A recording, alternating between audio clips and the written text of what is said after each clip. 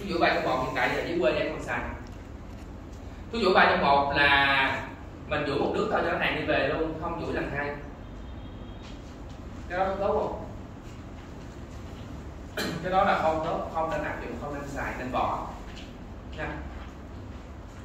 Tại vì không có thuốc chuỗi nào mà vừa duỗi vừa dập hết trơn tại bình thường ví dụ thuốc chuỗi nó có số 1, số 2 đúng không?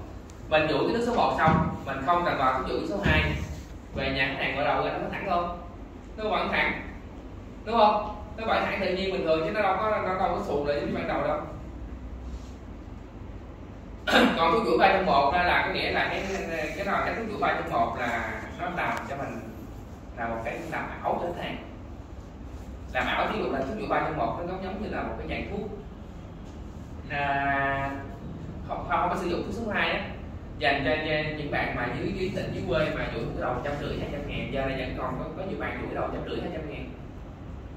Thì xài thuốc duỗi nó vô xong dàn nở xong xả sạch kẹp cũng nước bọt cho hàng đi về luôn. Thì cái đó là duỗi thẳng theo đó là duỗi thẳng cái dạng hên xui.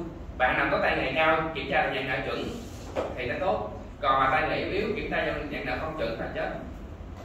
Tại vì nếu mà trường hợp ví dụ ba trong một mình vô cái tóc đó mình à, đi là nó chưa dàn tới mình kẹp, nó có thẳng không? Nó vẫn thẳng tại vì tóc của mình mình không vô thuốc số 1 mình kẹp nó vẫn thẳng mà. Khi mà mình vô thuốc số 1 mà lỡ nó chưa dàn nợ tới, cái mình xảo mình kẹp nó dàn thẳng. Rồi tư vấn khách hàng về nhà ba ngày sau gọi đầu. Khi mà gọi đầu lên xong mình, cái tóc nó bị bung ra, nó đá ngọn luôn á. Thì lúc này khách hàng sẽ quên cái nhớ hoặc là người ta sẽ bỏ đi luôn. Tại vì mình không biết được cái tóc đó nó thẳng thiện hay thẳng ảo. Nha.